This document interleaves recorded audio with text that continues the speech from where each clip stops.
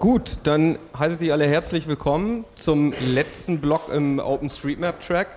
Es gibt äh, nachher um 12.30 Uhr noch die Abschlussveranstaltung im äh, Umweltbundesamt. Hoffe ich, dass Sie auch alle zahlreich noch kommen und an der Verlosung teilnehmen, äh, wo es noch ein paar Bücher zu äh, gewinnen gibt. Und ähm, ja, äh, der jetzige Block, das ist äh, eine Gemeinschaftspräsentation, denn wir hatten ähm, insgesamt drei Einreichungen, die alle mehr oder weniger den gleichen Inhalt hatten. Sie haben sich nämlich alle mit dem Thema Indoor äh, OpenStreetMap beschäftigt und deshalb heiße ich jetzt äh, heute ähm, äh, Frederik Kerber, ähm, ähm, dann Markus Götz und Andreas Hubel äh, herzlich willkommen. Und ähm, die haben sich jetzt diesen 60-Minuten-Block selber eingeteilt und werden dann ähm, ja, Ihnen jetzt heute das Thema Indoor OSM ähm, vorstellen.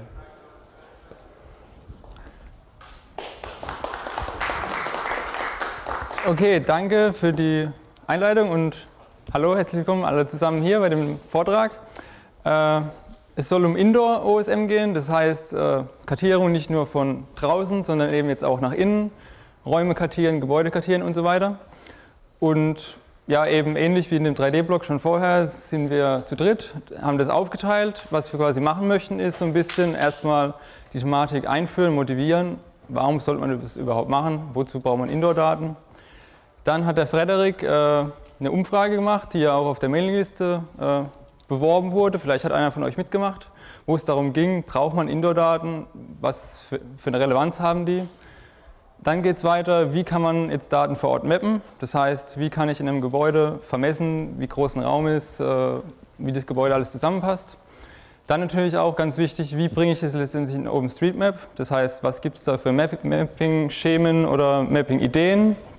Und dann letztendlich auch, okay, was gibt es für Anwendungen? Und dann hoffentlich auch eine Diskussion zum Schluss, wo wir fröhlich mit euch äh, angeregt diskutieren können. Zur Motivation eben mal, äh, wozu braucht man überhaupt Indoor-Daten?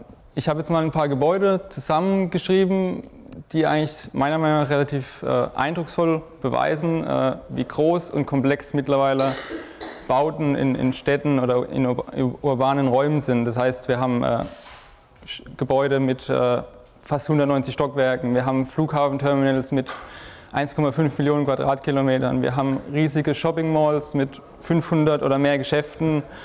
Wir haben Universitätsgebäude mit einer halben Million Quadratmetern. Und es wird einfach wirklich total schwierig und komplex, sich dort zurechtzufinden. Gerade wenn man das Gebäude nicht kennt. Wenn man sich das mal vorstellt, zum Beispiel, man geht in, dieses, in Las Vegas, ins Venetian Resort und soll da in den 7000 Zimmern sein Zimmer suchen. Das wird relativ schwierig und man ist oftmals relativ alleingelassen. Weil es gibt zwar dann irgendwelche Zeichen, Symbole, okay, es gehen Sie bitte da lang, da lang, aber man hat einfach so ein bisschen seine Probleme damit. Und letztendlich ist es auch eben so, dass äh, wir verbringen den Großteil unseres Lebens indoors. Das heißt, eine Studie von, den, von der USA hat gezeigt, okay, der Durchschnitts-US-Bürger ist etwa 90 Prozent seines Lebens im Innenraum. Und ich denke eigentlich, dass man das relativ auch gut auf andere Kulturen oder Länder übertragen kann gerade wenn man schaut, äh, man schläft irgendwie vielleicht acht Stunden, arbeitet acht bis zehn Stunden am Tag, dann sind schon mal 18 Stunden weg, die man eigentlich innen verbringt, in den meisten Fällen. Und ja, wie schon eben angedeutet, es ist eben oft so, dass man jetzt nicht nur in einem Gebäude ist, wo man kennt. Das heißt, ich bin nicht immer nur in meinem Büro, ich bin nicht immer nur vielleicht am örtlichen Bahnhof, am lokalen, sondern ich bin eben auch irgendwie auf Dienstreisen, in Urlaub oder eben gerade auch hier auf der Konferenz. Man kommt erstmal hier und weiß nicht unbedingt, wo bin ich, wo muss ich hin, wo finde ich mich zurecht. Und das dient eben als Motivation dazu, dazu das heißt, wozu brauche ich Indoor-Daten. Dann ist es eben auch so, wenn man sich mit Leuten unterhält, äh, kommt immer wieder durch, okay, es wäre doch eigentlich ganz nett, wenn man die Navigationsanwendung, die ich von meinem Auto kenne, die ich von meinem Fahrrad kenne, die ich als Fußgänger draußen kenne, wäre es doch nett, wenn ich das eben auch für innen hätte. Und mittlerweile in der Forschung wird es äh, schon relativ lang versucht irgendwie zu erforschen oder es gibt immer wieder immer verschiedene Ansätze. Das heißt eben diese Navigation äh, auf den letzten Metern. Das heißt, ich will nicht nur bis zum Bahnhof zur Eingangstür geleitet werden, sondern ich will bis zu meinem Gleis wirklich geleitet werden. Und eben auch dann Indoor-Positionierung oder sind, so sind solche Themen, die quasi in der Forschung interessant sind. Und eben jetzt auch äh, in der Wirtschaft fängt es eben auch an, dass Indoor-Dienste quasi zur Verfügung gestellt werden. Das heißt, äh, als Beispiel Google oder auch Navtech oder Bing, haben jetzt mehr oder weniger für manche Gebäude haben sie jetzt Indoor-Karten, die auf dem Handy verfügbar sind, beziehungsweise bei Bing ist es so, die kann man dann im Browser einfach, kann ich mir Shopping Malls anschauen und eben dann auch durch die Stockwerke durchzoomen und eben schauen, okay, wie sieht die Shopping Mall aus und kann meinen Einkauf planen.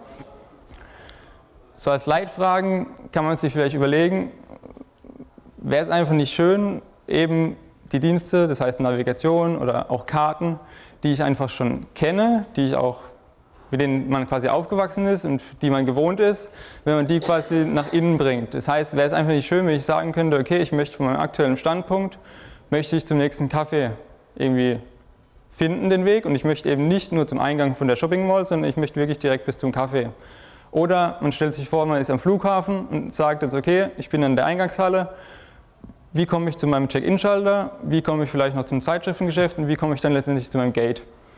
Und das einfach so, wie man es kennt, entweder vorher geplant, schon im Browser, zu Hause, schön am Computer, dass man sich das alles ansehen kann, oder eben auch live auf dem Handy. Das heißt, dass ich auf dem Handy schauen kann, ich sage, ich bin hier und so und so muss ich jetzt laufen. Ja, und dann eben die Motivation, warum in OpenStreetMap? Äh, ich denke, es wurde schon gezeigt, dass OpenStreetMap, beziehungsweise ihr als Mapper oder wir alle, dass wir eigentlich mehr können als kommerzielle Datenanbieter. Das heißt, wir können eine richtige Vielfalt von Daten irgendwie sammeln, unterschiedliche Typen, unterschiedlicher Detailgrad und es entsteht einfach eine riesen Vielfalt. Und dann eben auch, wie man in dem 3D-Vortrag gesehen hat, äh, ist es eben nicht mehr so, dass es jetzt eigentlich OpenStreetMap ist, weil es ist eben viel mehr. Wie auch gesagt wurde, wir haben mittlerweile mehr äh, Gebäude als Straßen und eben auch viele andere äh, Objekte. Von daher man sieht, dass das Interesse eigentlich jetzt nicht nur auf Straßen ist, sondern eben auch auf, auf Gebäuden oder auf anderen Sachen. Und eben auch Indoor wird langsam zunehmend diskutiert im Wiki, auf Mailinglisten oder irgendwelchen Blogposts. Und dadurch stellt sich einfach die Frage, okay, warum sollte man denn nicht versuchen, in der OpenStreetMap eben auch Indoor-Daten zu erfassen? So, von meiner Seite herzlich willkommen. Ähm, mein Name ist Frederik Kerber und eigentlich schon. Test? Und ich komme vom Deutschen Forschungszentrum für Künstliche Intelligenz aus Saarbrücken und ähm, ich möchte jetzt in den nächsten 15 Minuten ein bisschen was zunächst über eine Umfrage erzählen, die ich zur Relevanz von digitalen Karten erstellt habe. Geht? Ja.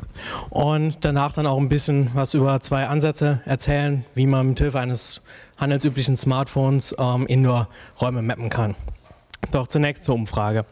Ähm, die Idee hinter der Umfrage war, Erkenntnisse darüber zu gewinnen, wie äh, Leute die Nutzung digitaler Karten wahrnehmen und insbesondere natürlich auch mit einem gewissen Fokus auf den Indoor-Bereich. Und deswegen ging es in diesem, dieser Umfrage, die über die Mailingliste äh, auch später dann publiziert wurde, schwerpunktmäßig um einen Vorschlag für, für ein sogenanntes Open Indoor Map, sprich im Prinzip die Idee von OpenStreetMap entsprechend portiert auf Innenräume.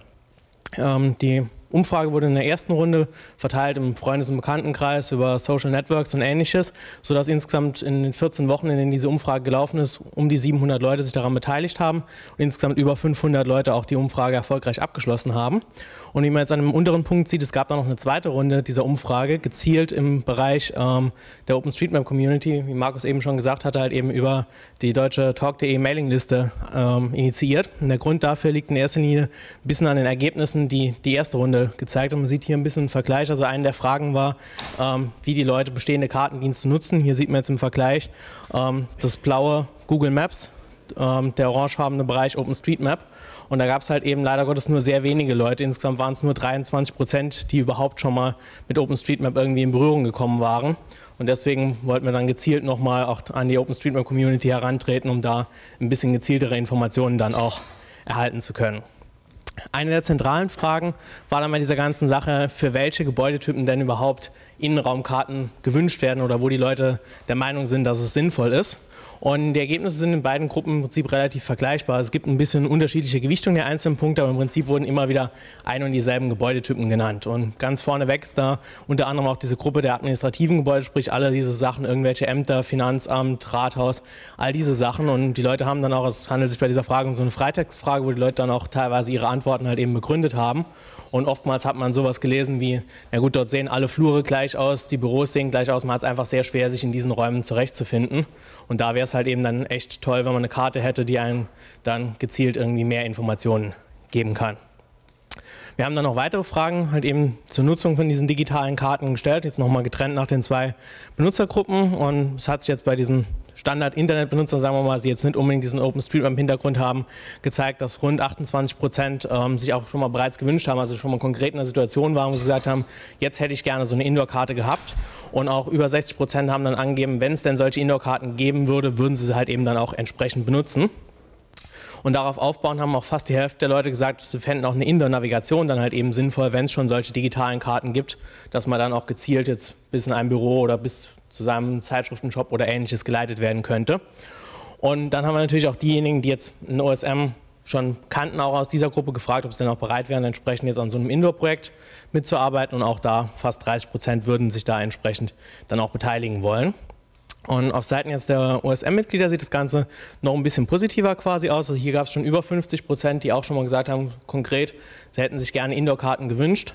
Und auch fast äh, alle würden halt eben entsprechend dann auch diese Karten nutzen, wenn sie denn zur Verfügung stehen würden. Auch entsprechend die Frage nach der Indoor-Navigation wurde von fast zwei Dritteln der Leute als sinnvoll oder sehr sinnvoll betrachtet. Und rund drei Viertel wären auch bereit, dann entsprechend Inhalte zur Open Indoor Map beizutragen. Der Punkt ist jetzt der, so auch da gab es wieder die Möglichkeit, wenn man gesagt hat, nein, möchte ich nicht, dann auch entsprechend zu begründen, warum man das nicht möchte. Und eine der Sachen, die dann häufig genannt wurde, ist, dass man irgendwie Befürchtungen hat, dass das Ganze zu kompliziert ist, weil man halt eben keine Möglichkeit hat, beispielsweise auf GPS oder ähnliches zurückzugreifen, da das in Innenräumen halt eben nicht zur Verfügung steht. Und deswegen möchte ich jetzt im Folgenden dann auf zwei Ansätze eingehen, wie man trotzdem dann in Innenräumen äh, komfortabel mappen kann. Also im Prinzip die Frage, wie die, Daten, wie die Daten direkt vor Ort aufgenommen werden können. Wie gesagt, es ist mit den bestehenden Mapping-Methoden sehr schwierig, weil halt eben, jetzt, wie man traditionell macht, mit dem GPS-Logger irgendwie das Gebiet abgehen, ist in Innenräumen im Prinzip unmöglich, da die GPS-Signale entweder nicht in ausreichender Qualität oder schlicht auch einfach gar nicht zur Verfügung stehen. Und auch das Abzeichnen von Luftaufnahmen macht für Innenräume nicht so viel Sinn, da man halt eben außer äh, irgendwie der Dachstruktur keine weiteren Informationen über jetzt die Raumaufteilung im Innern des Gebäudes hat. Ein bisschen anderer Ansatz wäre zu erreichen, wenn man eine instrumentierte Umgebung zugrunde legen könnte. Das heißt also irgendwie eine Umgebung, die entsprechend technisch so ausgestattet ist, dass es möglich ist, Nutzer innerhalb dieser Umgebung zu lokalisieren. Das heißt, man hat dann auf lokaler Ebene im Prinzip eine Art GPS-Nachbau. Äh, da gibt es auch verschiedene Verfahren, beispielsweise mit Infrarotbarken oder indem man irgendwie eine bestehende WLAN-Infrastruktur ausnutzt. Das ist auch alles ganz nett, funktioniert auch im Prinzip. Das Problem an der Sache ist in erster Linie immer, dass man diese Räume dann entsprechend vorbereiten muss. Also man kann dann später nur auf diese Instrumentierung zurückgreifen, wenn man sie vorher auch entsprechend gemacht hat.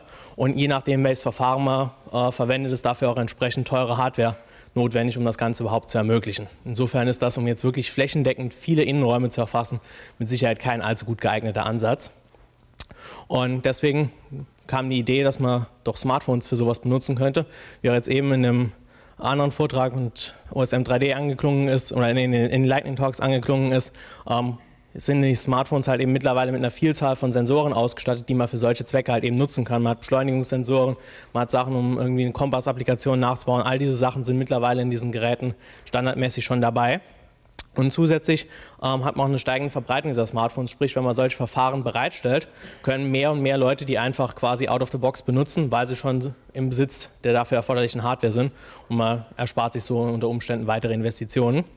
Und des Weiteren ist halt eben, es nicht erforderlich, die Räume irgendwie vorher zu instrumentieren, sprich, man kann dann einfach potenziell jeden Innenraum äh, auch entsprechend vermessen. Ähm, Im Rahmen meiner Masterarbeit an der Universität des Saarlandes habe ich dann zwei Ansätze entsprechend untersucht. Beim ersten ist die Idee, die Außenwände von Räumen abzugehen, um somit dann die äh, Struktur quasi zu erfassen. Und der zweite Ansatz beschäftigt sich damit, wie man mit Hilfe von trigonometrischen Berechnungen auch ähm, die Räume vermessen kann. Und die beiden Ansätze möchte ich dann jetzt nochmal etwas detaillierter vorstellen. Die Idee bei dem ersten Ansatz ist, dass man im Prinzip einzelne Schritte des Nutzers mit Hilfe der Sensoren im Smartphone feststellen kann und dann, wenn man seine Schrittlänge kennt, die man auch entweder vorher irgendwie bestimmen kann oder auch äh, schlicht und einfach festlegen kann. Wenn jemand bewusst die Räume abgeht, hat er auch in etwa eine konstante Schrittlänge, davon kann man ausgehen und hat dann so die Möglichkeit, die zurückgelegte Wegstrecke zu ermitteln und kann damit dann ähm, das entsprechend berechnen. Wichtig ist natürlich auch die Richtungsänderungen des Nutzers zu erfassen. Hierbei kann man dann äh, auf Sensoren wie Magnetometer oder das Gyroskop zurückgreifen. Natürlich ist dann hier auch die Frage, warum muss ich jetzt für so eine Sache wie jetzt die Richtungsänderung gleich zwei Sensoren verwenden? Hier ist dann auch nochmal eine Besonderheit, die man in Innenräumen halt eben betrachten muss. Ähm, das Magnetometer ist in Gebäuden oftmals unzuverlässig. Und von der Funktionsweise her misst es ja die Stärke des Erdmagnetfelds, um damit Berechnungen zu machen. diese Messungen sind oftmals in Innenräumen halt eben gestört, dadurch, dass in Wänden und Decken sich sehr viel Metall befindet oder auch halt eben elektronische Geräte wie Computer und ähnliches dieses Signal entsprechend beeinflussen.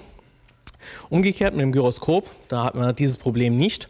Dort werden einfach Winkelgeschwindigkeiten gemessen und in denen man die, die Rotation dann äh, rekonstruieren kann sozusagen. Das Problem an der Sache, Gyroskope gerade in den Smartphones, wo ja vergleichsweise günstigere Sensoren und auch entsprechend der Größe ja sehr kleine Sensoren nur verwendet werden, haben ein recht großes Driftproblem. Und zusätzlich, dadurch, dass ja in erster Linie immer nur diese Geschwindigkeiten gemessen werden, muss man diese ganzen Messungen jeweils noch integrieren, was dann erneut nochmal dazu führt, dass halt eben leichte Schwankungen in der Messung dieses Driftproblem nochmal weiter verstärken. Jetzt kann man aber hingehen und kann in einem Sensor Fusion Ansatz diese beiden ähm, Sensorwerte jeweils miteinander kombinieren, hat somit dann auf der einen Seite langzeitstabile Werte und kann auf der anderen Seite aber auch kurzfristige Fehler halt eben entsprechend korrigieren und kann somit mit Hilfe der beiden Sensoren jeweils sozusagen die gegenseitigen Nachteile ausgleichen und hat dann einen stabilen Ansatz. Ähm, kurz noch ein paar Ergebnisse, was die Schrittgeschichte oder diese Schritterfassung angeht. Man sieht jetzt hier ähm, den Verlauf der Messwerte von einem Accelerometer, also einem Beschleunigungssensor über die Zeit. Man kann dann hingehen und kann das Ganze noch ein bisschen vereinfachen, indem man quasi alles das, was nur kleinere Ausschläge einfach durch im Prinzip die Bewegung verursacht sind, entsprechend rausfiltern und hat dann die Möglichkeit, man sieht hier, man hat immer ähm, so einen Peak nach oben und einen Peak nach unten. Im Prinzip macht das einen Schritt aus und man kann dann jeweils, also die roten Punkte hier entsprechen jetzt jeweils einem erkannten Schritt und kann damit relativ zuverlässig dann genau ähm, mitbekommen, wie der Nutzer unterwegs ist. Wie gesagt, die Idee ist dabei, dass man dann die Räume äh, an den Außenwänden abgeht. Das funktioniert relativ gut in Fluren oder in großen Hallen ähnliches, wo keine Gegenstände dann an den Seiten im Weg stehen. Das ist natürlich für normale Wohnräume oder auch Büroräume nahezu ungeeignet, weil immer irgendwie irgendwelche Möbel, Schränke, Tische oder ähnliches irgendwo am Rand stehen. Und deswegen der zweite Ansatz, der halt eben auch eine Vermessung erlaubt von Räumen, die man nicht so einfach abgehen kann. Die Idee ist hier, dass man sich einfach im Prinzip einen Punkt, möglichst in der Raummitte, muss jetzt nicht genau sein, einfach nur in etwa sucht. Wichtig ist, dass man alle Ecken des Raumes gut sehen kann. Und dann muss man lediglich ähm, die Raumecken, beziehungsweise halt eben von allen interessanten Punkten, sprich also auch wenn man Türen erfassen will, sprechen auch die Eckpunkte der Türen mit dem Smartphone anpeilt. Man hat dazu das Kamerabild zur Verfügung, wo als Hilfestellung ein ähm, Zielkreuz quasi eingezeichnet ist und dann kann man damit den Raum automatisiert vermessen.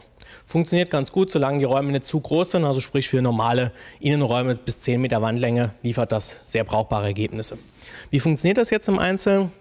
Die Idee ist hier, einzige, der einzige Wert, den man im Vorhinein wissen muss, ist hier diese Höhe H. Das ist die Höhe, in der der Nutzer dann einfach das Gerät hält. Die kann man mal einmal ausmessen, das ist in etwa immer gleich, wenn man das Gerät immer in etwa gleich hält. Man hat jetzt die Möglichkeit, diesen Winkel Alpha hier, na, genau, diesen Winkel Alpha hier mit Hilfe der Sensoren innerhalb des Smartphones zu berechnen und kann dann mit relativ einfachen trigonometrischen äh, Formeln dann diese Strecke B, also die Entfernung, die der Nutzer zur Raumecke hat, entsprechend bestimmen. Wenn ich das jetzt für zwei Ecken hintereinander mache und kann zusätzlich dann noch dabei, während ich also quasi mit der einen Ecke anfange, mich dann entsprechend zu der anderen Ecke rumdrehe, diesen Winkel, den ich dabei überstreiche, den kann ich wiederum mit dem Smartphone äh, registrieren, sodass ich das dann jetzt in dem rechten Bild die Informationen B, B1, das sind zweimal diese Entfernungen zur Ecke und halt eben diesen überstrichenen Winkel Beta kenne und somit habe ich dann die Möglichkeit, ähm, die Wandlänge zu bestimmen, wiederum mit einer vergleichsweise einfachen Berechnung.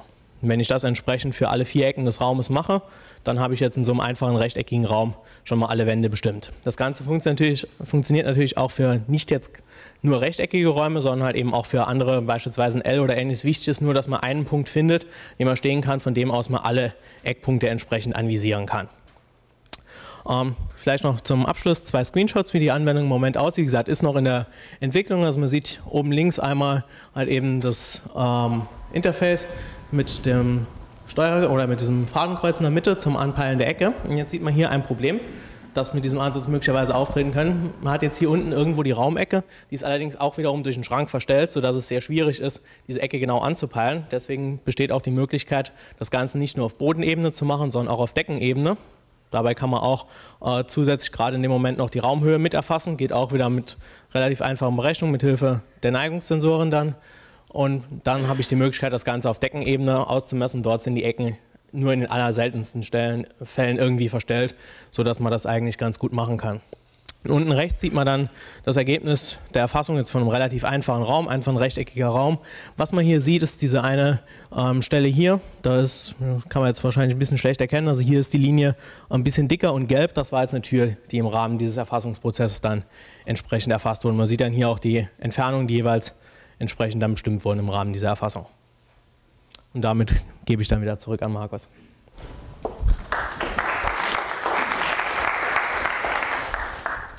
Ja, nachdem man jetzt, nachdem der Frederik quasi eine Möglichkeit gezeigt hat, wie man die Daten aufnehmen kann, wenn man vor Ort ist, ist jetzt natürlich die Frage, okay, wie kriege ich das in OpenStreetMap rein?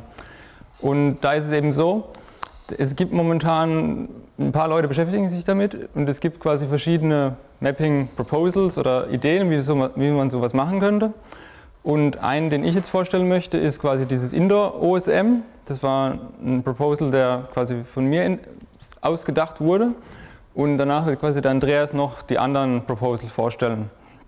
Und die Hauptidee oder Motivation von diesem Indoor OSM war eben, dass man sehr detaillierte Pläne von Gebäuden äh, sammeln möchte oder erfassen möchte. Das heißt, ich möchte nicht nur irgendwie Korridore als Linien haben, sondern ich möchte wirklich die, die Form von Korridoren haben. Ich möchte Räume wirklich als, als Flächen, als Polygone haben.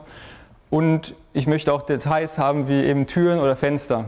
Weil je nach Anwendungsszenario, insbesondere für Routing ist klar, brauche ich die Tür. Aber auch wenn ich irgendwie ein 3D-Modell erstellen möchte oder wenn ich vielleicht Notfallrouting machen möchte, wo dann auch das Fenster relevant für mich ist, äh, brauche ich diese Informationen eben auch. Und dann eben für äh, 3D-Innenraummodelle, wenn man sowas erzeugen möchte, eben auch dieser, dieser Height Key. Das heißt, dass man auch für Objekte in diesem Indoor OSM quasi eine Höhe definieren kann. Ja, das war quasi die Grundidee. Der Proposal ist im Wiki äh, mittlerweile relativ detailliert eigentlich beschrieben. Äh, Wenn es äh, genau interessiert, der kann auf die Seite schauen. Und ich werde eben quasi jetzt die Hauptgedanken von diesem Indoor OSM äh, erklären. Der Grundgedanke ist, sage ich mal, relativ hierarchisch äh, sich ausgedacht. Das heißt, die Grundidee ist einfach ein Gebäude, das heißt ein Building besteht aus mehreren Stockwerken. Ein Stockwerk wiederum besteht dann aus mehreren äh, Teilen, das heißt äh, Räumen, Korridoren und eben auch darüber hinaus besteht ein Stockwerk auch aus einer Außenhülle. Das heißt, äh, das ist quasi die Wand, die das Stockwerk von außen repräsentiert. Und die verschiedenen Stockwerke sind dann eben durch vertikale Verbindungen sozusagen verbunden. Das heißt, wir haben Fahrstühle, wir haben Treppenhäuser, wir haben äh, Rolltreppen, die quasi die einzelnen Elemente miteinander verbinden. Und eben Fenster oder Türen, das heißt Windows oder Doors, äh, sind Teil von Räumen oder Teil von, von diesen Stockwerkteilen die, äh, dieser, dieser Aufbau entstand dadurch eigentlich, dass äh, verschiedene Überlegungen gemacht wurden, okay, aus was besteht eigentlich ein Gebäude? Und da gibt es schon in der Forschung gibt's verschiedene Ontologien und verschiedene Ansätze. Ich habe dann eben versucht, okay, man braucht was relativ Einfaches, das heißt, was einfach genug ist, um mit bestehenden OSM-Sachen wirklich zu mappen. Das heißt, dass ich wirklich nur Nodes, Ways, Relations und Text benutze aber auf der anderen Seite eben, dass es äh, detailliert genug ist, um diese ganzen Informationen zu, zu haben. Das heißt, wen das näher interessiert, der kann sich äh, mal diese Veröffentlichung anschauen. Da wird eben auch die Ontologie beschrieben, die dahinter steckt und eben auch die, die Herleitung quasi von diesem Modell an sich. Wie das jetzt genau aussieht in OSM ist eben so, dass ein Gebäude an sich ist eine Relation das heißt, äh, die hat eben eine ID, die hat einen Typ, das heißt einfach Type Building, die hat einen Namen für dieses Gebäude und eben auch die, die anderen bekannten Tags. Das heißt, ich kann alles an diese Relation dranhängen, die das Gebäude an sich betreffen. Und die einzelnen Relationen, Members, das heißt die Mitglieder von der Relation sind jetzt eben meine Stockwerke, beziehungsweise in dem Fall auch noch die Eingangs- und beziehungsweise Ausgangstüren. Das heißt, für dieses Beispielgebäude wäre es jetzt eben so, dass ich äh, vier Stockwerke habe. Das heißt, ich habe vier Relation Members, die äh, ein Stockwerk sind. Das heißt, die haben jeweils die Rolle des, des, des Stockwerknamens. Das heißt, für das äh, zweite Obergeschoss wäre eben die Rolle wäre Level 2 oder fürs Erdgeschoss wäre, es, wäre die Rolle Level 0. Und eben darüber hinaus ist diese, diese Tür eingetragen. Die Stockwerke an sich sind dann auch wieder Relationen und Türen sind äh, Nodes in dem Falle. Und so eine Stockwerkrelation sieht jetzt eben so aus, dass ich auch wieder mit Text das Stockwerk allgemein beschreiben kann. Das heißt, ich kann sagen, was ist der Name dieses Stockwerks, welche Stockwerknummer hat es, äh, vielleicht für was, was er das benutzt, wie hoch ist das Stockwerk. Und die, die Mitglieder davon sind eben dann die einzelnen Teile meines Stockwerkes. Das heißt, in dem Fall hätte ich jetzt hier sieben Relation Members für meine Räume bzw. für meine Korridore und ich hätte eben noch einen Relation Member für diese äußere Hülle. Das heißt, in dem Fall hätte ich jetzt äh, acht Relation Members für dieses Stockwerk und hätte aber einen relativ detaillierten Plan von meinem Stockwerk. Wie das dann eben, wenn man es ranzoomt, äh, hat man eben auch noch die Möglichkeit zu unterscheiden von den verschiedenen Räumen. Das heißt, ich kann sagen, okay, ein Raum heißt jetzt so und so, er wird für, für irgendwas benutzt, äh, er hat auch eine Höhe vielleicht. Und eben zum Unterschied dazu wäre eben ein Korridor, würde eben beschrieben werden als Korridor, als, als Building Part ist gleich Korridor. Und so kann ich eben die einzelnen Räume oder einzelne Elemente im Stockwerk semantisch unterscheiden und auch unterschiedlich beschreiben. Genauso eben dann auch die, die Türen bzw. die Fenster, die quasi ein Teil von dem, von dem jeweiligen äh, Building Part sind, wo ich dann einfach nur noch sage, okay, dieser Node ist jetzt ein, ein Window zum Beispiel, der hat irgendwie, das Fenster hat irgendwie eine Höhe, das Fenster hat eine Breite und es hat eine Brüstung, beziehungsweise die Tür hat dann einfach nur eine Höhe und eine Breite. Und so habe ich dann eben, wenn ich das so quasi mappe, habe ich Informationen wirklich für jedes Stockwerk, über jede Räume und sogar über alle Fenster und Türen. Und das ist quasi dieser Indoor-OSM-Vorschlag. Und den anderen, die anderen Vorschläge wird jetzt der Andreas euch präsentieren. Genau, also hinter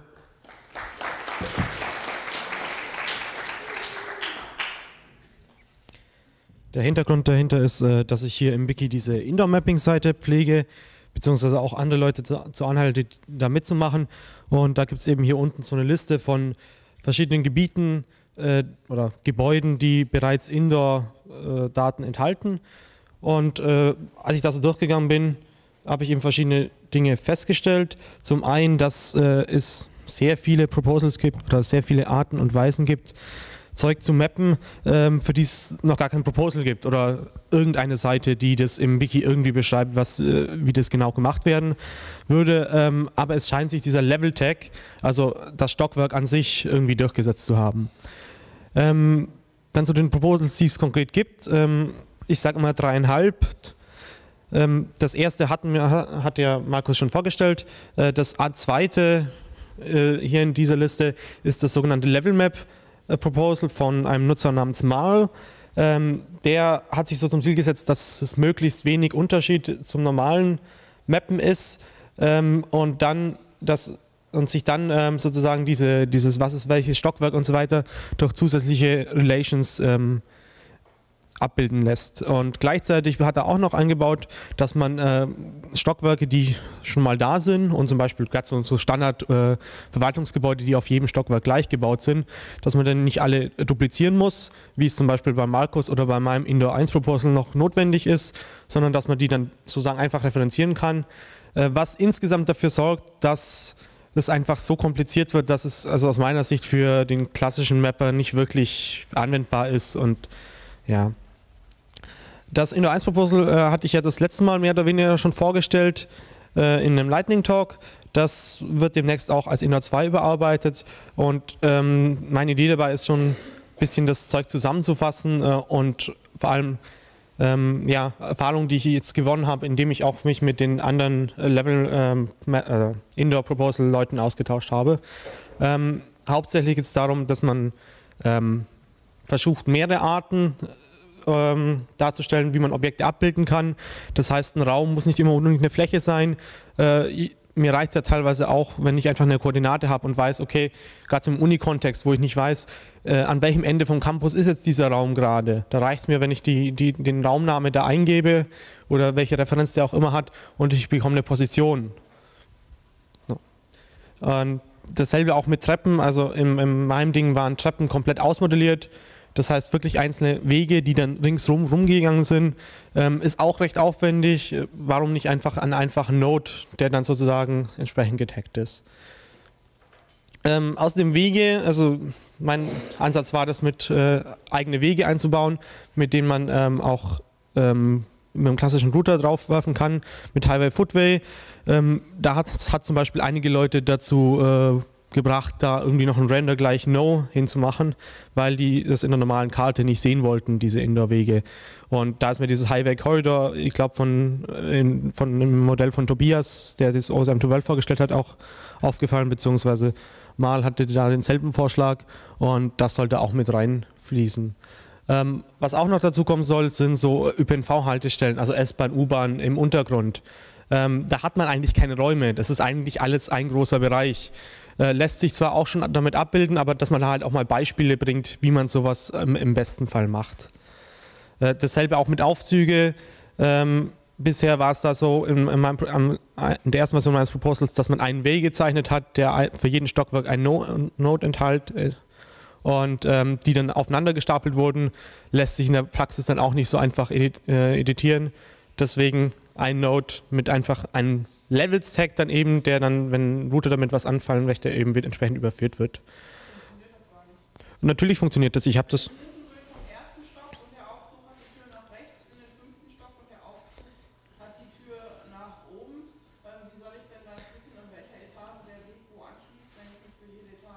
Weil jede, jede, äh, in jeder Etage ist ein Weg zu deinem Aufzug, aber wir können das ja nachher in der, in der Fragensektion gerne diskutieren oder nachher mal nochmal extra. Und ich habe es hab's so gebaut, also das funktioniert. Ähm, und dann noch ein großer Diskussionspunkt ist, wie weit ein Relations jetzt verpflichtend sein sollen oder nicht. Ähm, Gerade so mit diesem Level-Tag, wenn man eine Relation für ein Stockwerk hat, dann kann man ja diesen Level-Tag an das Stockwerk hängen oder sollte man es doch lieber an die einzelnen Elemente hängen. Hat so alles so ein bisschen Vor- und Nachteile. Ähm, ja, und das sind so noch Diskussionspunkte. Dann machen wir im Prinzip äh, weiter mit Markus. Ähm, er zeigt mal, wie das Ganze äh, dann sozusagen in JOSM eingetragen werden kann. Das lässt sich aber nicht nur für sein Inter-Proposal so nutzen, sondern im Prinzip für alle anderen auch. Man muss halt nur die Filterregeln entsprechend anfangen. Aber dazu gehst du nachher genau ein.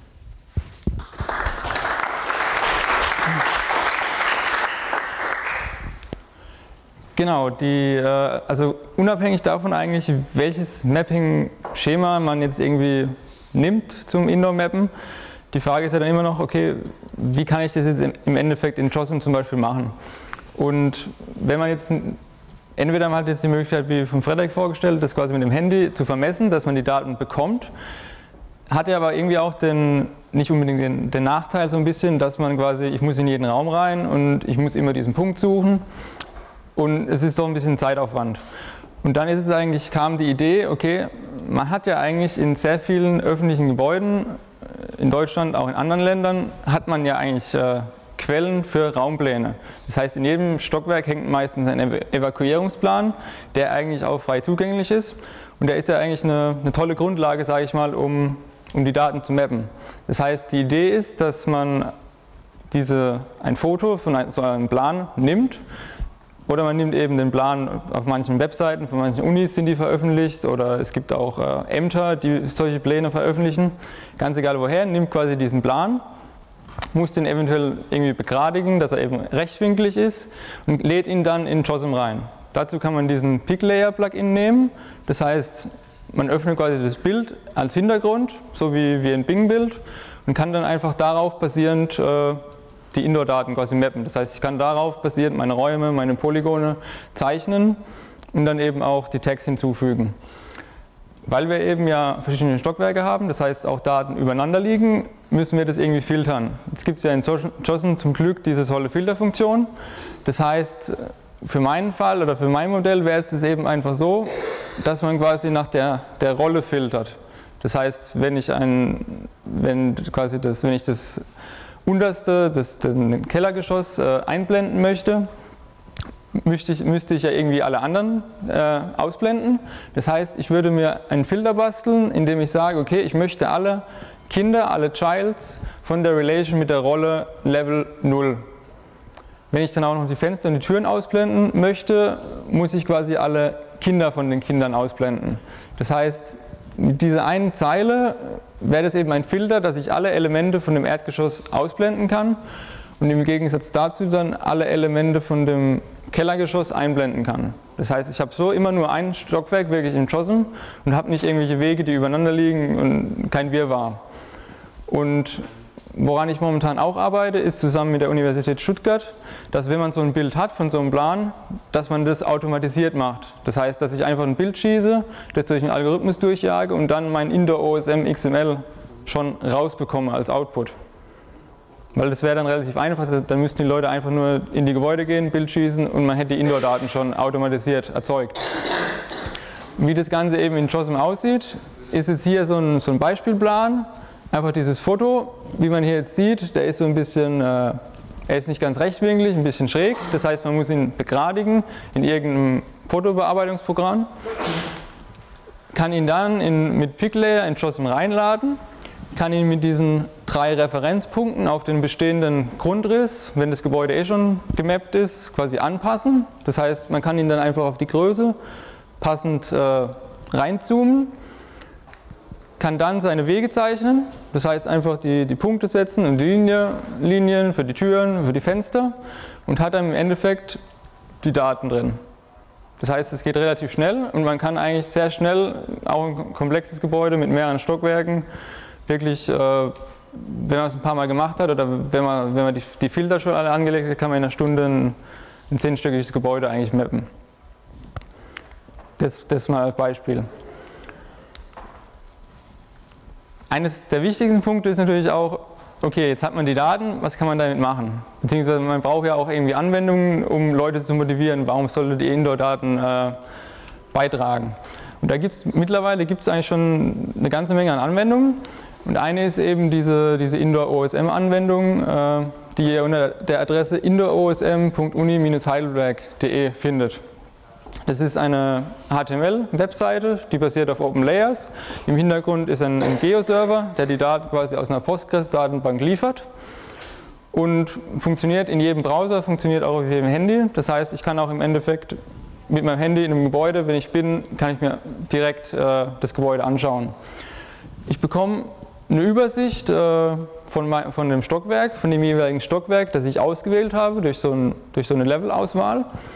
Kann dann natürlich auch die Stockwerke durchschalten und bekomme auch eben dann verschiedene Informationen zu dem Raum. Das heißt, in dem Fall sehe ich jetzt, okay, wo ist der Raum 207 zum Beispiel? Und ich sehe eben auch farblich unterschiedlich, was ist ein Korridor, was ist ein, ein, Treppen, äh, ein Treppenhaus, was sind Räume, was sind Fahrstühle. Weil ich jetzt nicht nur die, die Karten quasi mir anschauen möchte, sondern weil ich ja auch Funktionalität haben möchte, gibt es auch einen, einen Routing-Dienst da drin. Das heißt, ich kann mir Routen innerhalb des Gebäudes berechnen. Über verschiedene Stockwerke, egal wohin.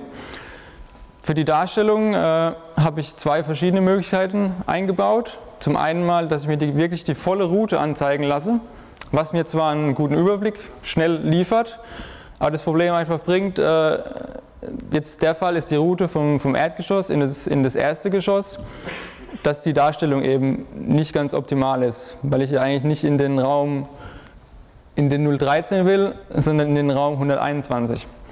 Das heißt, diese, der komplette, die komplette Ansicht bietet mir eben einen, einen schnellen Überblick. Ich habe aber dann auch die Möglichkeit zu sagen, okay, ich möchte nur Teilrouten. Das heißt, wenn ich diese Checkbox hier unten auswähle, zeigt er mir immer nur die Route für das jeweilige Stockwerk an. Das heißt, in dem Fall jetzt äh, bekomme ich eben die, Route für das Erdgeschoss.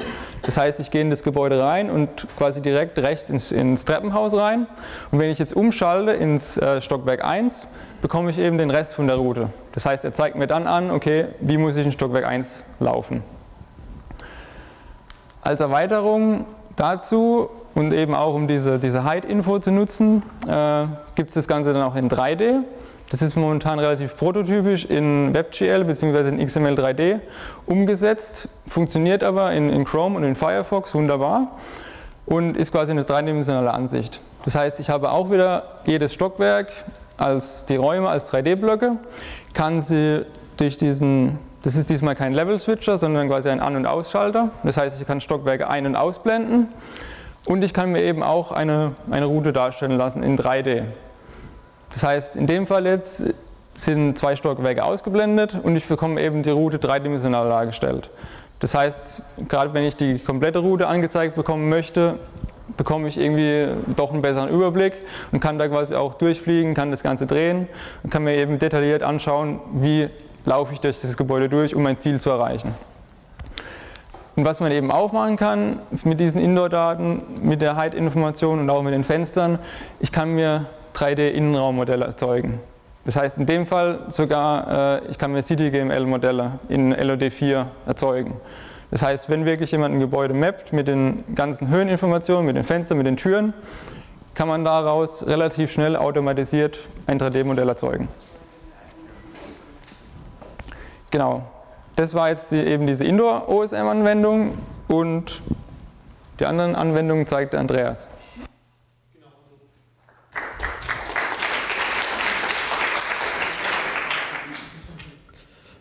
Analog zu vorhin, äh, auch hier wieder so der Rest, äh, was sonst noch in der Community passiert. Ich habe mich jetzt mal fokussiert auf Anwendungen, die mit OSM-Daten laufen. Ähm, die erste haben wir schon gesehen. Ähm, das zweite ist ein kleines Projekt, das im Rahmen von, von meiner Bachelorarbeit entstanden ist. Äh, zeige ich gleich noch ein paar Screenshots. Äh, gegebenenfalls, wenn es noch Zeit war. Ich habe da auch eine Demo und man kann sich unter der URL auch eine VM-Image runterladen, ähm, um das mal selber auszuprobieren. Ähm, dann gibt es hier eine Anwendung äh, namens Footpass von der WTH Aachen, die ähm, ein bisschen was von diesem ähm, Beschleunigungssensorzeug zeigt, in dem Fall aber nicht zur, zum Mappen, sondern einfach um zur Navigation. Und äh, so als allgemeines Tool, mit dem man auch so Daten anschauen kann, sobald sie mal Relationen äh, haben, ist der OpenStreetBrowser. Ähm, ja, fangen wir mit, der, mit dem Routing.js-Zeug an. Ähm, was man hier sieht, ist eine ja, Webkarte, ähm, in, auf Basis von Cossack.js. Ähm, und was man, was dazu, dazugekommen ist, ist hier oben einmal dieses, ähm, diese zwei Textfelder, die Autocomplete haben. Das heißt, man gibt ein, von wo man, äh, von wo man starten möchte und wohin man möchte. Und dann wird das alles im Browser, eben im Zweifel auch auf Mobiltelefon, äh, wenn der Prozessor entsprechend stark genug ist, berechnet. Das ist ein einfacher Dijkstra-Algorithmus in dem Fall. Und äh, man kann dann hier mit diesem ähm, Regler hier dann zwischen den Stockwerken umschalten. Man sieht, ähm, in dem Fall mit dieser Route hier gehe ich jetzt zum Eingang rein, gehe hier bis zu diesem Aufzug, das ist dieser blaue Marker, normalerweise ist dann da, ist ein prototypisch, man könnte da zum Beispiel dann viel bessere Icons reinmachen und so, aber das kann man alles mit Map.css stylen und das war in dem Moment äh, keine technische Herausforderung mehr. Ähm, und dann kann man eben ähm, hier zweimal draufklicken, dann landet man im oberen Stockwerk und sieht, okay, jetzt muss ich noch dieses kleine Stück dann laufen und dann bin ich in meinem entsprechenden Raum. Die anderen zwei müssen wir jetzt mal schauen, ob das Internet funktioniert. Äh, machen wir einfach mal, nein, das Anklicken funktioniert leider nicht. Das heißt, das mache ich dann nachher äh, während der äh, Fragesession, mache ich die URLs auf und dann können wir immer ein bisschen Demo machen und dann Frage machen. Ja, kommen wir zur Zusammenfassung. Genau, also als ja, sehr kurze Zusammenfassung. Äh, wir sind eigentlich der Meinung, dass Indoor immer wichtiger bzw. immer äh, ja, ein wichtiges Feld, nicht nur in der Forschung, aber auch irgendwie äh, in der Wirtschaft irgendwie wird. Und das Interesse an Indoor-Daten steigt, einfach wahrscheinlich auch aus dem Grund, dass kommerzielle Datenanbieter nie in der Lage sein werden, äh, sowas großflächig irgendwie zu erfassen. Je nach Detailgrad können wir die Daten unterschiedlich mappen. Das heißt, je nach Anwendungsfall, ob ich wirklich Flächen haben möchte oder ob ich einfach nur Wegen haben möchte, gibt es verschiedene Mapping Proposals im Moment. Und nichtsdestotrotz gibt es mittlerweile schon äh, verschiedene Anwendungen, die irgendwie Indoor-OSM-Daten nutzen. Und die werden kontinuierlich weiterentwickelt und es werden auch immer mehr äh, Anwendungen entwickelt, um die Daten letztendlich auch zu erfassen vor Ort. Das war es dann eigentlich soweit zu der Präsentation. Wir danken euch für die Aufmerksamkeit und freuen uns natürlich jetzt auf, auf Fragen oder auch auf eine Diskussion.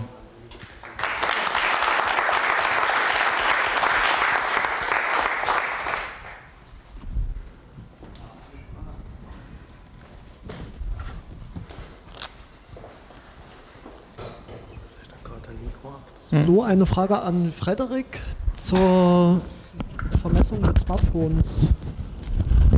Bei großen Räumen wird der Winkel doch ziemlich flach und wie, welche Messgenauigkeit erreiche ich überhaupt mit dem Smartphone? Genau, also das ist das Problem, deswegen ich auch gesagt also bis zu 10 Meter Wandlänge ist das noch einem Rahmen, dass man sagen kann, das reicht vollkommen aus, um den Gebäudeumriss dann tatsächlich auch detailliert noch darzustellen. Ab dann wird es schon schwierig. Also bei 10 Meter Wandlänge hat man ja ungefähr 5 Meter wenn man in der Mitte quasi steht in jeder Richtung, plus halt eben ein bisschen mehr, dadurch, dass ja die Diagonale ist, das geht noch. Wenn ich jetzt tatsächlich probiere, einen Gang, der weiß nicht, 30 oder 40 Meter lang ist, zu erfassen, wird das aufgrund dieser Winkelgeschichte dann nicht mehr funktionieren. Und an Markus in dem Heidelberger Bürogebäude verwendet ihr für Höhen sowas wie 3M5 für einen 3,50 Meter hohen Raum oder 3M500? Versteht ihr auch sowas wie 3.5 oder 3.5m? Äh, also die, der, der, der Height-Tag hat eigentlich, also mittlerweile ist es 3,5 einfach, also 3.5, ohne irgendwie m oder so. Also er versteht es auch, ja. Ja, die Fotografiergeschichte mit dem Smartphone fand ich ganz interessant. Ähm, funktioniert das nur für rechtwinklige Räume? Was mache ich, wenn ich sowas habe wie eine äh, Stoppschild-Grundfläche im Gebäude? Geht das dann auch? Ja, so ein Stoppschild würde gehen. Problematisch würden halt eben Rundungen, weil man dann halt eben das schlecht machen kann. Da müsste man dann halt eben ein bisschen abstrahieren, dass man dann halt eben quasi irgendwie eine gerade Strecke zwischen die zwei Eckpunkte der Rundung zieht. Aber für ein Stoppschild wird das ohne Probleme funktionieren. Mhm. Und noch was ganz anderes. Ähm, ich vermisse jetzt bei den Anwendungsfällen natürlich die Blindennavigation. Blinde Menschen sind ganz besonders interessiert, in öffentlichen Gebäuden irgendwie die richtige Tür finden zu können. Äh, Gibt es schon irgendein Projekt, was sich damit beschäftigt, eine Wegbeschreibung als Text zu produzieren, den man mitnehmen kann zum Beispiel? Also wie gesagt, für mich aus meiner Sicht ist dieses ganze Blindending einfach nur ein Sonderfall von der normalen Navigation für die normalen Leute. Ja, klar. Und wenn die für die normalen Leute funktioniert, dann funktioniert die genauso auch für Blinde. ja, aber ich brauche ja einen Text. Ich also brauche ja einen Text. Du wirst damit, wenn du für äh, Open, Root Server, äh, Open Source Routing Maschinen zum Beispiel sowas hast, dann kannst du das genauso auch, wenn du sobald du mal eine Fußgängerinstanz äh, davon hast, die ähm, ja, die, die Pfade, die da ausgegeben werden, dann für, für, Blinde verwenden. Ja, dafür müsste die Seite leider barrierefrei sein. Ich glaube, es also gab, es gibt noch kein gesondertes Projekt. Ich glaube, es gab irgendwann mal eine Untersuchung, speziell Blindennavigation am Flughafen. Ich weiß nicht mehr genau von wem, aber eventuell unter dem Stichwort könnte man es finden. Also also ja, wie Frederik gesagt hat, es gibt kein konkretes Projekt, aber zum Beispiel bei uns an der Uni Heidelberg haben die Linguisten, äh, die sind da relativ stark dran, auch teilweise mit uns zusammen, dass quasi aus, aus Graphen oder aus einfach nur Computeranweisungen, dass da eben linguistisch schöne Sätze rauskommen, beziehungsweise die man dann auch für andere äh, Zielgruppen quasi nutzen könnte. Okay, da komme ich nochmal auf dich zurück. Danke.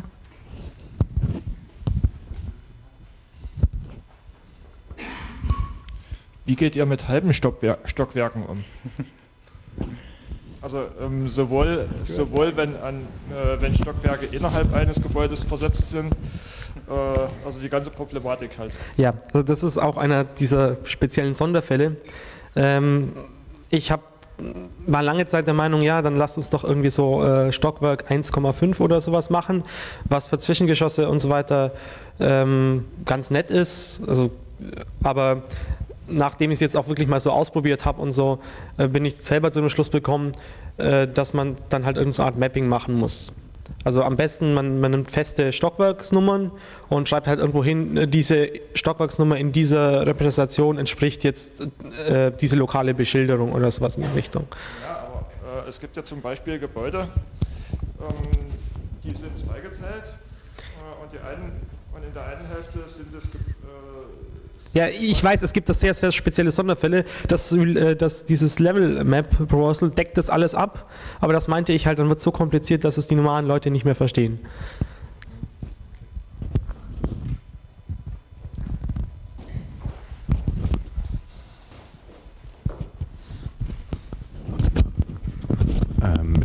fragen, wie sieht das aus mit den Flurplänen? Ihr habt gesagt, die kann man einfach so abfotografieren. Also ich bin mir ehrlich gesagt da nicht so sicher. Weil ich habe mal bei uns geschaut, da steht dann immer Copyright F-Plan drauf. Ja, also äh, das ist ein, ein Thema, das so ein bisschen ist es schwierig, weil es ist was Neues, es hat irgendwie noch keiner in der Richtung was gemacht. Und äh, ich bin auch momentan mit dem Patentanwalt am Reden, beziehungsweise er recherchiert für mich, äh, wie, inwieweit darf man das. Und seine Aussage momentan ist eigentlich, dass äh, dieses Copyright, was meistens draufsteht, gilt hauptsächlich für die Darstellung. Also dadurch, dass man die eh öffentlich zugänglich machen muss, rechtlich, glaube ich, will ich mich jetzt auch nicht zu weit rauslehnen, ist es quasi abgedeckt, dass man diese Darstell also die Daten, die da dargestellt werden, weiter prozessiert.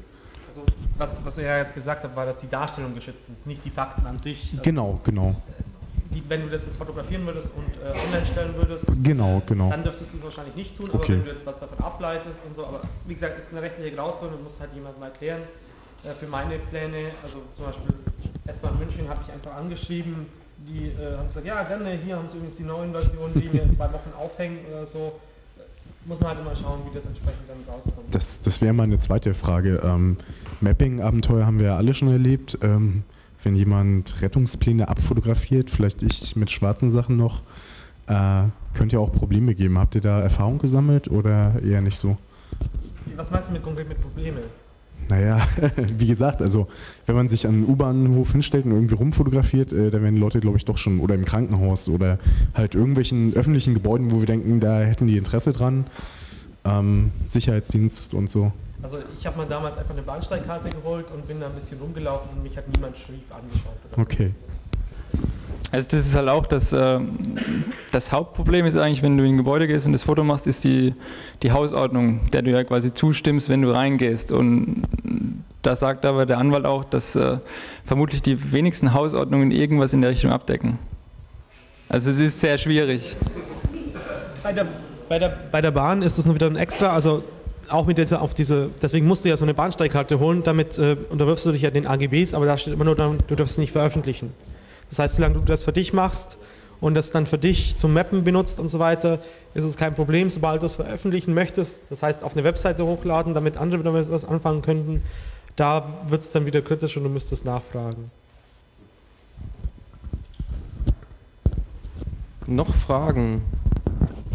Derweil bis, dann, also ich hatte noch kurz eine Frage. Ähm, äh, gibt es schon, habt ihr schon irgendwelche Zahlen, wie viele Gebäude es quasi schon nach einem bestimmten Tagging-Schema dort gibt? Oder sind es hauptsächlich nur, ich sag mal jetzt Universitäten, wo daran gearbeitet wird? Für mein Tagging-Schema ist es eigentlich so, es gibt zwei, drei Gebäude, die andere Leute äh, gemappt haben, hauptsächlich als Reaktion auf diese die Blogposts, was auch veröffentlicht wurden. Und die anderen meisten Gebäude sind eigentlich quasi von, von mir bzw. von Studenten, die quasi jetzt momentan die Uni Heidelberg abgrasen, sage ich mal, und das alles mappen. Okay. Ja, an sich, ich habe wie gesagt mal aufgerufen, dass jedes, jeder, der was mappt, ähm, das hier auf diese Wiki-Seite einträgt. Ähm, das sind hauptsächlich ja wirklich äh, Unis, wo irgendwie Studenten sind und das ganz toll finden. Also ich glaube, diese, diese Ilmenau-Karte zum Beispiel, die verwenden das auch in ihrem lokalen Campus-Einführungstool. Also wenn, wenn jemand neu auf, zum Campus kommt und den dann, dass der irgendwie so findet, wo das rauskommt. Ansonsten halt oft Einkaufszentren und, und sowas äh, oder eben Bahnhöfe.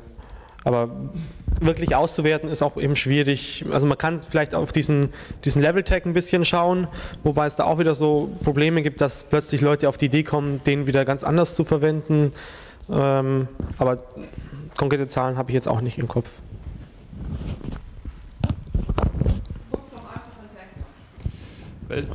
Wie gesagt, geht nicht so einfach. Welche Verbindungen gibt es zur ähm, Open Source FM äh, Projekten.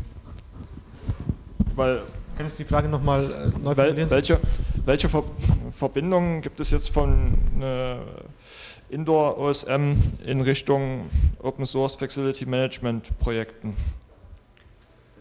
Also ich kenne jetzt Facility, Facility Management in Form von ähm, ja, eine Steckdose fällt aus und, und dass man sowas. Ja, und da, ähm, dort Dort also, ähm, würde das, das Thema gesehen. ja wunderbar reinpassen, indem, äh, weil dort auch von Räumen ausgegangen wird, ähm, von äh, ja, zum, zumindest die ganze Erfassung wird dort, ähm, steht dort so, äh, als Thema auf der Agenda. Gibt es da irgendwelche Berührungspunkte? Also mir ist in dem Fall nichts bekannt und den anderen zwei eigentlich auch nicht. Ähm, dann eben dieses allgemeine Tool, was ich vorhin noch zeigen wollte, OpenStreetBrowser, dadurch, dass es hier eben Relation gibt, sieht man jetzt hier, okay, es gibt hier ein Dachgeschoss, es gibt ein Obergeschoss und dann kann man sich auch entsprechend durchklicken und sieht dann eben, was da auch drin ist. Und das funktioniert eigentlich bei allen Schemas, egal ähm, welches Schema, hauptsächlich, ähm, wenn, wenn halt Relations da sind und das finde ich dann auch immer ganz nett. Und vor allem, es funktioniert halt überall und man muss nicht extra erst den, den Mensch, der es betreibt, fragen, ob was da rein aber hat natürlich keine 3D-Ansicht und kein Routing. Okay, ähm, sind sonst noch Fragen?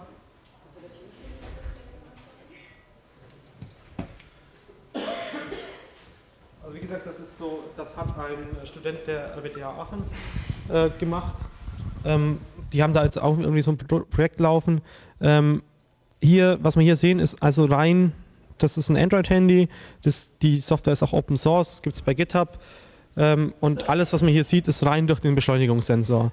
Das heißt, äh, soweit ich weiß, also man sieht hier auch irgendwo ein bisschen, äh, man kann hier äh, eine Schrittweite eingeben und auf Basis von der Drehung, die man dann macht, ähm, und er hat eben den Graphen, den man lauft, weiß er dann, wo er entsprechend hingeht.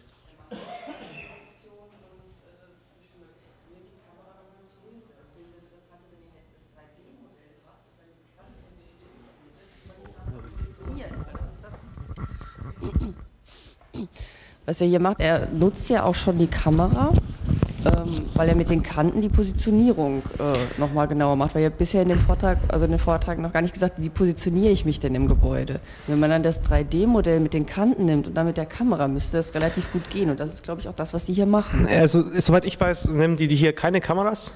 Ja, aber äh, es steht doch immer unten. Nee, da kommt gleich noch was. Das ist ich glaube, damit ist gemeint, dass man sich Nee, das sind auch bei den Treppen, ähm, das ist ja. Also klar, also ich habe auch so ein, so ein, Ding gesehen, oder, oder, ähm, wo er das Ganze, wo, wo, es um Feature Mapping geht. Das heißt, man, man geht einmal mit einer Kamera rum, ähm, mit Positionserfassung und ähm, holt sich dann Features und wenn man zum Beispiel so ein Feature in Form von, das ist jetzt das Schild oder das ist diese Struktur und man sieht sich, wie man ja, sich aber, bewegt, das kann man natürlich auch benutzen, ja. Also Features als Schilder macht ja eigentlich nicht so viel Sinn. Da würden die Ecken, da gehst du einmal mit dem mit einem Kantendetektor über das Bild, vergleichst das mit der 3D-Karte, das ist ja, Rechenaufwand ist ja nicht sehr gering. Damit kann ja, man es ja, ja unglaublich gut ja. machen, weil Ecken ist so das Feature, was du auch wirklich überall wiederfindest, weil sonst hast du das Problem, die nicht richtig zu mappen und ja, stimmt. Also die Variante habe ich auch noch gar nicht gedacht. Aber ich weiß nicht, ob sie es da machen. Wer, ich meine, man hält das Smartphone ja eigentlich schon immer so, dass man genau Boden und Ecken super sieht. Also es bietet sich ja eigentlich unglaublich an, wenn man es hier gerade auch in dem Bild sehr schön sieht, wenn du da einen Kantendetektor rüberlaufen lässt, das mit dem 3D-Modell vergleichst. Ja. Sowas sollte man vielleicht auch mal machen. Klar, also es gibt da, es ist ein sehr interessantes Feld, finde ich, und da kann man noch viel, sehr viel mehr aufbauen. Okay,